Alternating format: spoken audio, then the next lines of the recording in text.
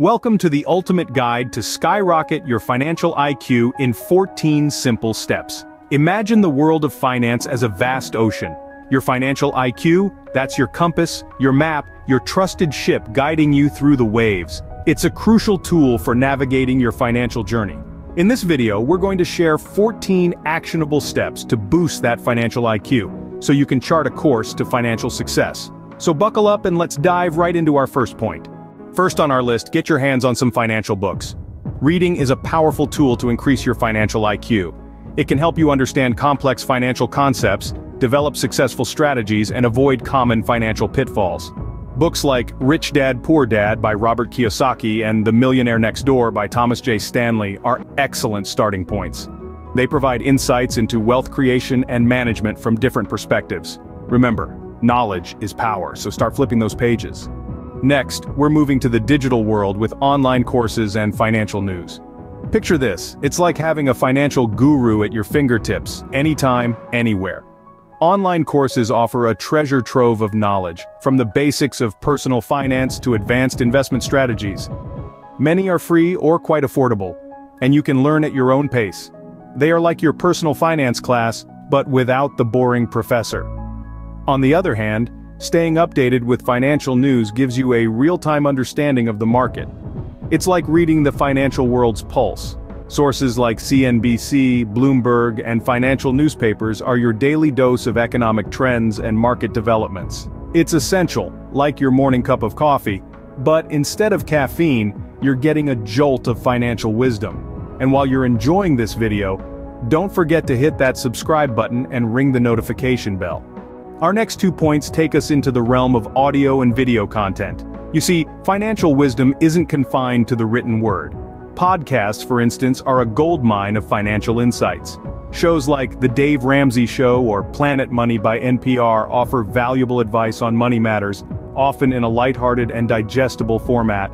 You can listen to them while commuting, working out, or even cooking dinner. On the other hand, educational videos offer a more visual learning experience. Platforms like YouTube are brimming with channels that break down complex financial concepts into engaging, easy-to-understand videos.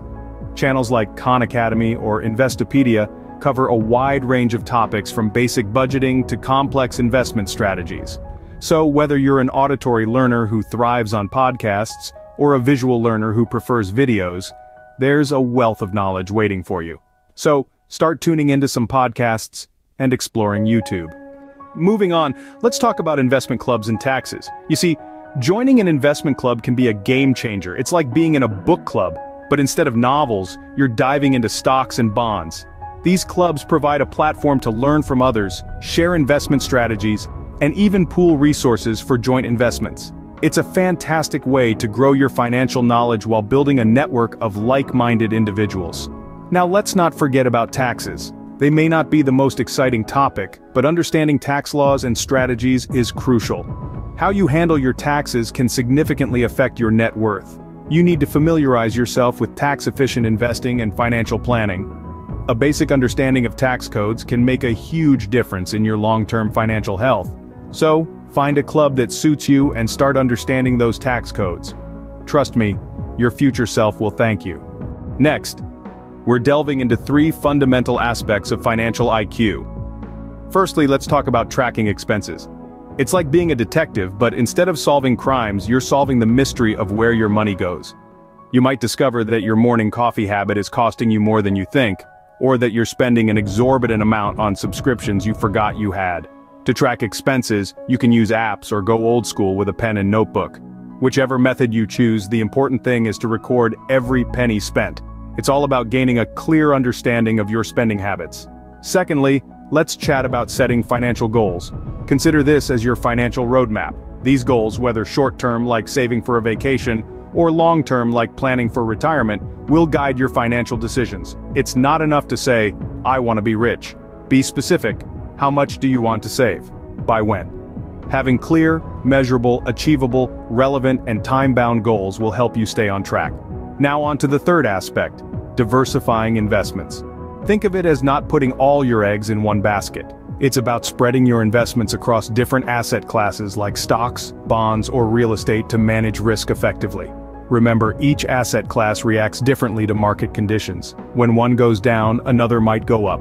Diversification won't guarantee profits or protect against loss in declining markets, but it can help you achieve a more favorable risk-reward trade-off. In summary, tracking expenses helps you understand your spending habits, setting clear and specific financial goals, guides your financial decisions, and diversifying your investments can help manage risk. These three aspects are crucial in boosting your financial IQ. And before we move on, we'd appreciate it if you could click on the like button. Now, it's time to tackle risk and the stock market. Understanding different types of investment risks and investing in stocks is a fundamental step in boosting your financial IQ. Let's start with risk. It's a term that often sends shivers down the spines of new investors. But fear not my friends because risk is not always a beast to be tamed, but rather a companion on your investment journey. There are several types of investment risks you should familiarize yourself with. Market risk for instance is the possibility of an investor experiencing losses due to factors that affect the overall performance of the financial markets. Then we have credit risk, which is the possibility that a borrower will default on any type of debt by failing to make required payments. And let's not forget inflation risk, the chance that the cash flows from an investment won't be worth as much in the future because of changes in purchasing power due to inflation. To manage these risks, diversification is your best friend. Spreading your investments across a variety of assets can help to reduce exposure to any single risk. A well-diversified portfolio is like a well-balanced meal, providing you with the necessary nutrients to maintain a healthy financial life. Now let's delve into the world of stocks. The stock market can seem like a daunting labyrinth for beginners, but with the right knowledge, it can become a fruitful playground. Investing in stocks allows you to become a part owner of a company, sharing in its successes and failures. Starting with stock investing doesn't have to be complicated. Begin with companies you understand and products you use daily. Virtual trading platforms are also great tools to practice without risking real money. Remember the stock market is not a get-rich-quick scheme, but a vessel for long-term wealth creation.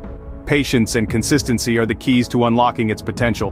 Remember, understanding risk and the stock market is key to boosting your financial IQ. Our final point is perhaps the most important one, save and invest regularly. It's like the heartbeat of financial wellness, consistent, steady, and vital. But how does one cultivate this habit? Well, it starts with understanding that not every dollar you earn is meant to be spent.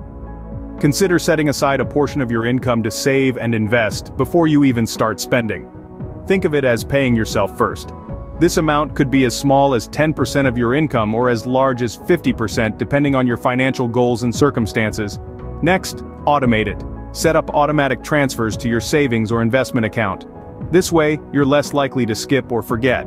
Lastly, be patient. Remember wealth isn't built in a day. It's the result of regular deposits and smart investments over time. So start saving and investing today to see your financial IQ soar. That brings us to the end of our guide on boosting your financial IQ. We've journeyed through reading financial books, taking online courses, following financial news, and even joining investment clubs. We've discussed the importance of understanding taxes, tracking expenses, setting financial goals, and diversifying investments. We've also covered familiarizing yourself with investment risks, and the practice of regular saving and investing. Thank you for watching. Don't forget to watch the other videos showing up on the screen now and remember to like, share, comment, and subscribe to our channel.